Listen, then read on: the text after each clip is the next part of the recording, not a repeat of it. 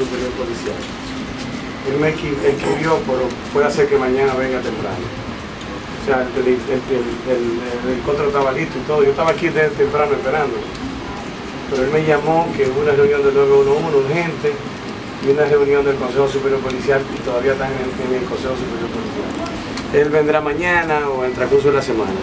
Esa fue la De todas formas, eh, eh, cuando ustedes tengan la seguridad de que el jefe de la policía va a visitar a, Moca y específicamente si lo va a hacer en la fiscalía, sería lo más prudente que nos lo hagan saber, porque en esta ocasión los periodistas nos llamaban algunas personas realmente yo tenía que dar la información que debía de darle, que nunca se me informó de manera oficial o institucional que la policía venía por acá. De todas formas, muy bienvenido y efectivamente viendo eh, lo que ha sido el auge y de la criminalidad aquí en la, en la provincia de Payá, pienso que sería prudente que tanto usted como director regional como eh, señores de la policía hagan actos de presencia en Moca, porque pienso que Moca lo necesita ustedes.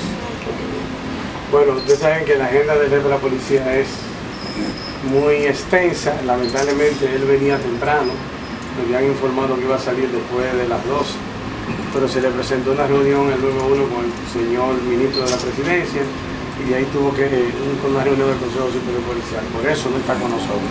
¿Usted tiene algún tipo de instrucción por parte de eh, no, hay que esperar que él llegue. O sea, tenemos que esperar que él llegue para, que, hablar, para que hablemos junto con Víctor Sánchez, con el magistrado y todo, todo el mundo. Hasta ahora no tenemos ninguna instrucción precisa, solamente que le pidiera excusa a la prensa y al, magistrado primero fiscal y a la familia Sánchez. Coronel Freire Pérez está involucrado en el caso de José Sánchez. Que no nos que no nos lo No te que ver eso. Esos son rumores, los rumores son rumores una producción de NJ Productora. Acceso sin límites.